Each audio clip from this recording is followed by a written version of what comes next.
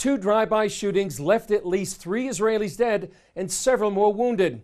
An Israeli police spokesman Micky Rosenfeld says there's an increase in these kinds of terror attacks. We've seen a wave of terrorist attacks, but at the same time an increase in a wave of operations that have taken place. With uh, the peak of those operations being in fact over the last 24 hours where our border police units managed to find, target and during gun battles that broke out, two terrorists were shot and killed from two previous terrorist attacks.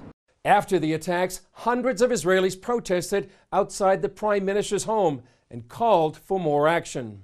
Those people murdered my grandchild just a few days ago, who hadn't even been born, and wounded my daughter, who nearly died, and my son in law.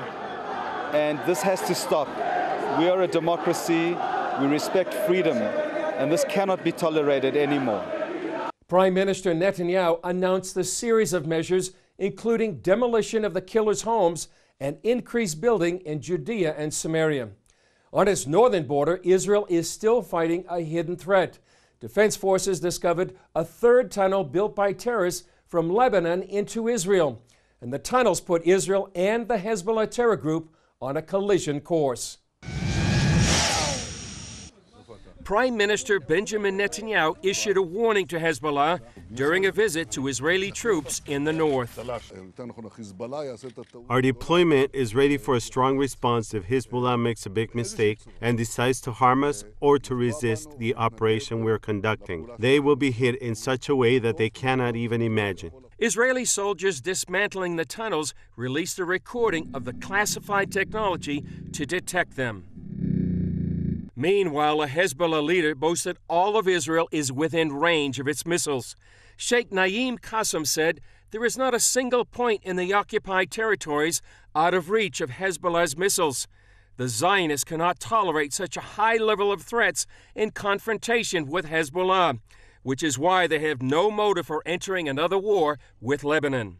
Israel's chief of military intelligence warned lawmakers that while the risk of war is low, the potential exists for circumstances to escalate out of control.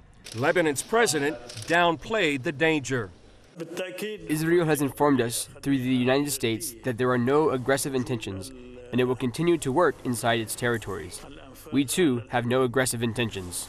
The tunnels, however, appear to be part of an aggressive strategy by Hezbollah.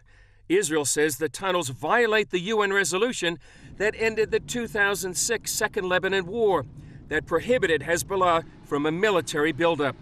Since then, however, Hezbollah missiles have increased about tenfold to some 150,000, giving the terror group more military firepower than 95% of countries in the world.